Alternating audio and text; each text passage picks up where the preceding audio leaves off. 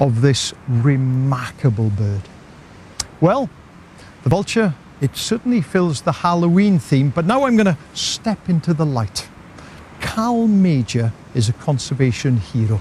She's a vet by day, but she also campaigns vigorously, especially when it comes to marine issues. And recently, she was able to go up to Ullapool to meet some young campaigners who've been fighting hard to protect some marine habitats right on their doorstep.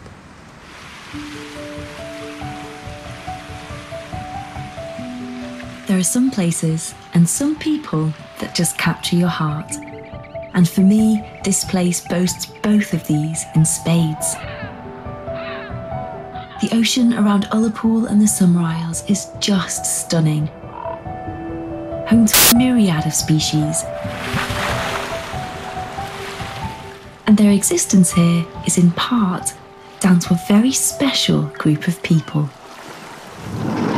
But there's something a bit different about these guys. We are the Ullapool Sea Savers! My name's Maya, I'm 11 years old, and I'm the ambassador for Whitetail Sea My name's Megan, I'm 15, and I'm the Storm Petrel ambassador. I'm Josh, I'm 13, and I'm the Dolphin ambassador. My name's Poppy, I'm 14 years old, and I'm the Otter ambassador. I'm Arwen, I'm 13, and I'm the Sea Turtle ambassador. My name is Hamish, and I'm 12, and I'm the Porpoise ambassador. I'm Kaylin, I'm 14, and I am the Flame Shell ambassador for the Ullapool Sea Savers.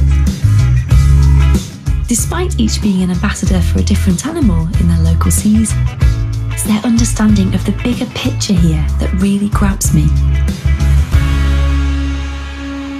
See, all the sea creatures are really important to the ecosystem. So if the ones at the bottom, or in the middle, or at the top die out, then all of the animals suffer. Everything here is connected. And as far as the sea savers are concerned, the health of this ocean relies on one very important thing.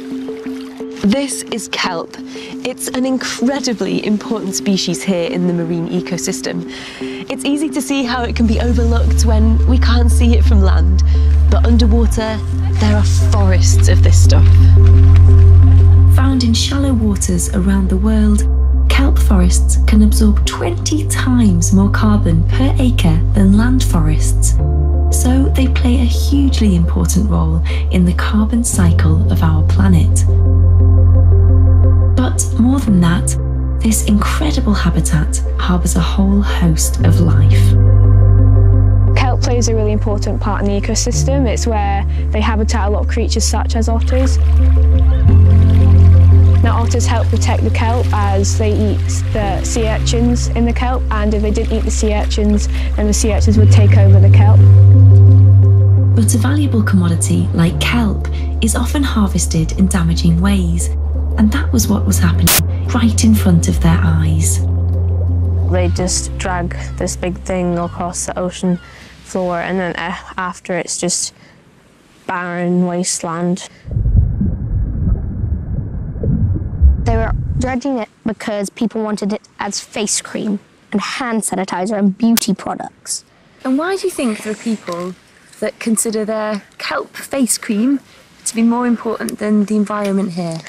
Well, those people don't think it's more important. I think that they don't know. So, the Sea Savers started a campaign to protect it. You could be a person who's only four years old growing up in the city, you can still help. Or you could be someone like David Attenborough. He's very old and he's still helping the environment, so I don't think it matters what age you are. The first thing we did in response to the kelp being threatened was to let people know and to really spread a lot more information about it. A large part of spreading the word about this happening was actually writing to people down in Holyrood, down in the Parliament. It's our voice that they are representing. With a lot of support, we managed to get our kelp here protected for now, and it makes me really happy to see that they're listening to what we're saying. The seas around Ullapool have now been designated a marine protected area. Thanks to the dedication of local people and the Ullapool Sea Savers.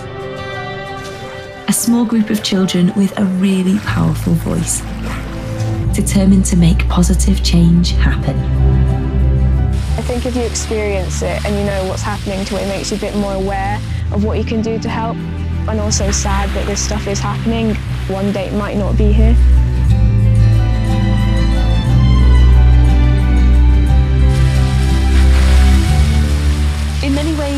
Ullapool Sea Savers reflect the ecosystem here in the ocean. They've each got their individual passions and their own skill sets, but together they have helped to create something so much bigger than that, this marine protected area.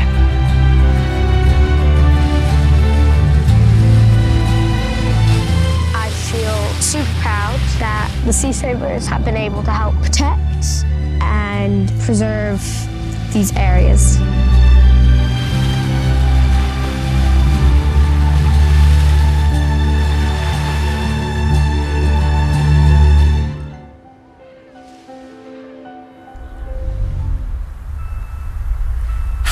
Inspirational are those kids? I mean, you've got a bunch of kids that are passionate about their local environment and have campaigned to save it. That is absolutely brilliant. I love it. You know, here in Tensmere, they're obviously passionate about the environment and they work hard to manage it with wildlife in mind. And they're particularly keen to protect